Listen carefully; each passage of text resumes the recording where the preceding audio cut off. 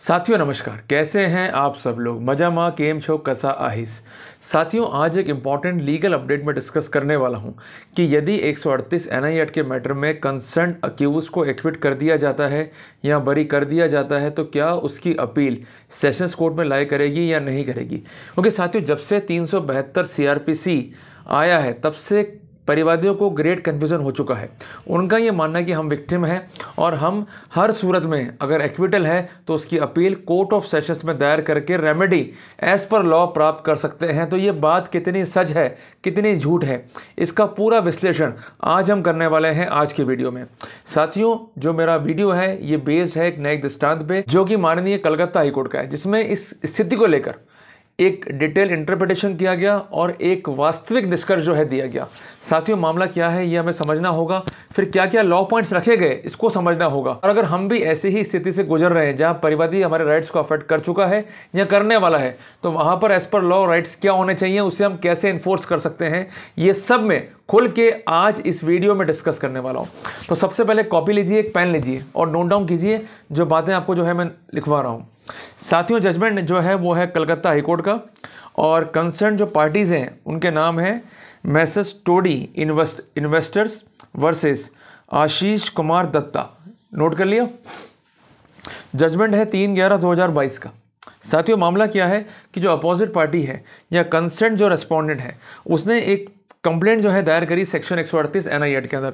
इस कंप्लेंट पर जो है कंसर्न अक्यूज़ को तलब किया गया और कंसर्न अक्यूज़ को ट्रायल के बाद जो है कोर्ट ने बरी करा, क्योंकि कोर्ट ने कहना यह था कि it is not a case proved by the concern complainant under section 138 of the N जब अक्यूज जो है बरी हो गया तो वहाँ पर कंसर्न परिवादी ने एक अपील जो है प्रेफर करी बिफोर कोर्ट ऑफ़ सेशंस उसका ये कहना था कि ये फैसला जो है ट्रायल कोर्ट का गलत है और जो एक्विटल किया गया है, उसे सेटिसाइड किया जाए और अक्यूज को एक सौ अड़तीस के तहत जो है गिल्ट होल्ड किया जाए। बट यहाँ पर जब अक्यूज अपियर हुआ तो उसने एक आपत्ति जो है रेज करी। उसकी आपत्ति क्या थी कि कंसर्न कंप्लेनेंट विक्टिम नहीं है। तो कोर्ट को क्या तय करना था?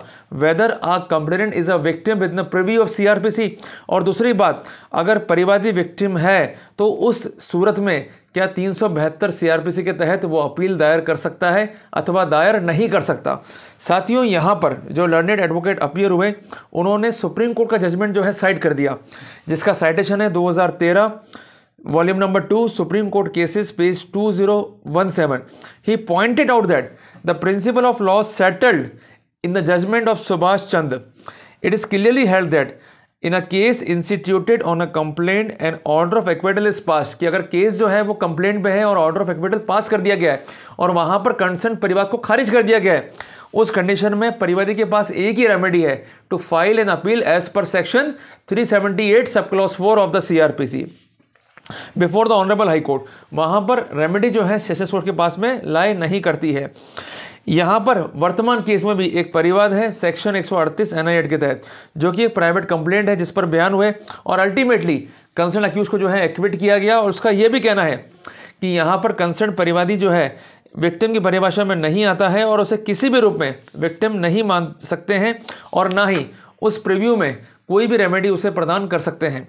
साथियों, कोर्ट ने यहाँ पर सेक्शन तीन सौ बहत्तर सीआरपीसी को लिखा और ये स्पेसिफिक किया कि no appeal shall lie from any judgment और order of criminal code except as provided by the court of CrPC तो कुल मिला एक बात समझ में आती है कि अपील करना मैटर ऑफ़ राइट नहीं है। अगर ये राइट आपको सीआरपीसी में दिया गया है तो ही अपील लाई करेगी। बट यहाँ पर एक प्रोविजो भी है कि विक्टिम का भी राइट है to prefer an appeal against order pass by the court acquitting the accused और convicting for a lesser offence और इम्पोजिंग इन एडुकेट कंपनसेशन तो यहाँ पर एक बात स्पष्ट है कि विक्टिम भी अपील पेश कर सकता है यदि किसी केस में अक्यूज को एक्विट कर दिया गया हो, या सेंटेंस जो है वो इनएडुकेट है, या मुआवजा, या कंपनसेशन जो है वो इनएडुकेट है।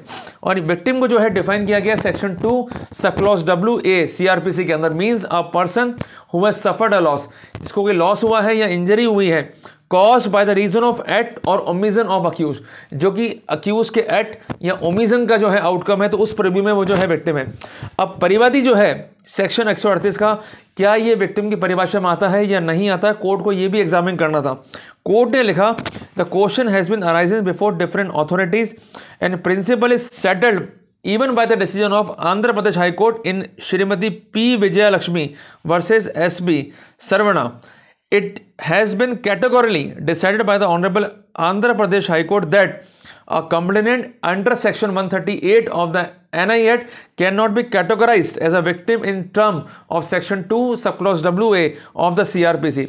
तो जब वो कंसेंट परिवादी या कंसर्न कंप्लेनेंट विक्टिम ही नहीं है तो किसी भी रूप में वो तीन सौ सीआरपीसी के तहत अपील दायर करने के अधिकार को नहीं रखता है कोर्ट ने लिखा कि ये पोजीशन सुप्रीम कोर्ट ने भी क्लियर कर दी है और सुप्रीम कोर्ट का भी ये कहना है कि अगर परिवाद है और वहाँ पर कंसर्न अक्यूज बरी हुआ है एक्विट हुआ है तो वहाँ पर परिवादी किसी भी रूप में अपील दायर नहीं कर सकता है, स्वयं को विक्टिम मानते हुए। तो उसके पास रेमेडी क्या है? Section 378 sub clause four CrPC की, पर तीन सौ बहत्तर सीआरपीसी के तहत अपील दायर नहीं कर सकता है। तो कोर्ट ने स्पेसिफिक किया before the amendment of the court in 2009. The remedy available to the complainant is to file the appeal before the Honorable High Court. As per section 378 sub clause 4 of the CrPC तो यहाँ पर यह चीज़ specific की गई है कि जब concern परिवादी ही विक्टिम नहीं है, ना ही उस कैटेगरी में आ सकता है तो उस प्रीव्यू में सेक्शन तीन सौ बहत्तर सीआरपीसी लाए नहीं करेगा। रेमेडी जो है वो सेक्शन 378 सब क्लॉज 4 सीआरपीसी के तहत है। तो कोर्ट ने दोनों ही पॉइंट्स जो है आंसर करे। सबसे पहली बात कि परिवादी विक्टिम नहीं है और दूसरी बात being the complainant, he could file an appeal. As per section 378 sub clause 4 CrPC before the honourable High Court वो बिफोर कंसेंट सेशंस कोर्ट सामने जो है अपील दायर नहीं कर सकता। तो कुल मिला के एक अच्छा फैसला अक्यूज के पक्ष में एक अच्छा फैसला डिफेंस के पक्ष में। तो घबराए नहीं। अगर आपके विरुद्ध भी कंसेंट परिवादी ने एक्विटल के प्रस्पेक्टिव में सेशंस कोर्ट में अपील दायर कर रखी है, और उसने तीन सीआरपीसी का अवलंबन लिया है तो ये साइटेशन आपके काफ़ी काम आने वाली है।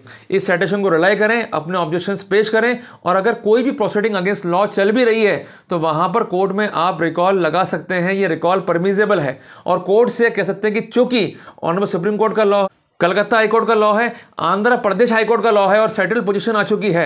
In that scenario proceedings are continued तो ये अब्यूज ऑफ़ प्रोसेस होगा। हमारे जो बेसिक राइट्स हैं, उसको अफेक्ट करने वाला होगा और अगेंस्ट लॉ कोई प्रोसीडिंग नहीं चल सकती है। साथियों डेफिनेटली आपको फ़ायदा मिलेगा ही मिलेगा, विश्वास रखिएगा। तो साथियों, घबराए नहीं, अपने राइट्स को इन्फोर्स करें, लड़ना सीखें। साथियों, का टॉपिक आपको अच्छा लगा तो इस वीडियो को लाइक और शेयर ज़रूर कीजिएगा। मिलते हैं एक नए टॉपिक के साथ, तब तक के लिए जय हिंद, जय भारत।